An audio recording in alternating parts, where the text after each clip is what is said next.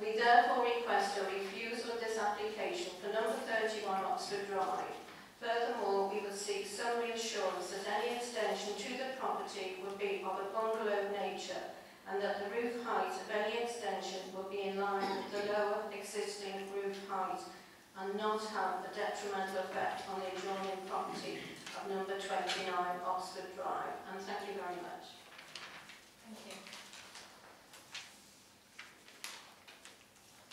Beginning. Would the applicant or agent like to speak on this? Yes, good. Thank you.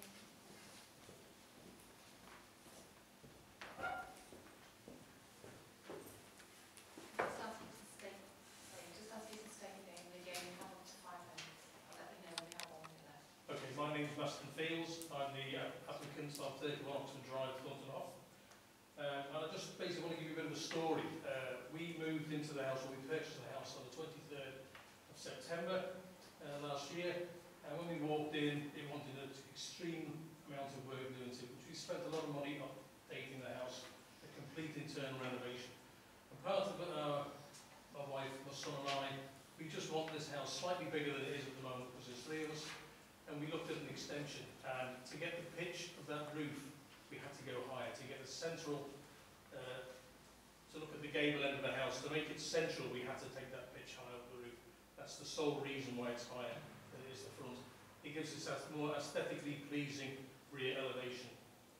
Um, there is light, obviously, we, we, the light uh, is a south-facing garden, so there's plenty of light coming in, so regarding uh, overlooking anybody's garden, we don't have any upstairs rooms, so there's nothing overlooking our, our uh, neighbours' gardens. There's already extensions, many, many extensions all around on the Thornton Hough estate, so I don't see that this one will be any different, except the fact that the roof line at the rear of the house is higher than it is at the front and higher than it is at the present time, primarily because it pitches the centre apex of the roof in the centre of the house and makes it more uh, from the rear. I don't really have any. I, I struggle with 25 petitioners, how this affects 25 petitioners. It's not even visible from 25 by 25 people or 25 homes. And you wouldn't even see it from the rear either, walking past the front. We've already aesthetically made our property better by removing a carport, which lots of neighbours complained about by the previous occupant. It's a 40 foot long carport, that was attached to the side of the house. That's been removed. We've already had new windows put in. Uh, we've got a wall that's going to be uh, rebuilt next year, just so this year rather, to enhance the visual aesthetics of the property. So we are making the property look better, to fit in better with our uh, environment. I have nothing else to say. Thank you very much. Okay, thank you. No one else wants to speak on this? We just ask you to state your name for the minute, please. It's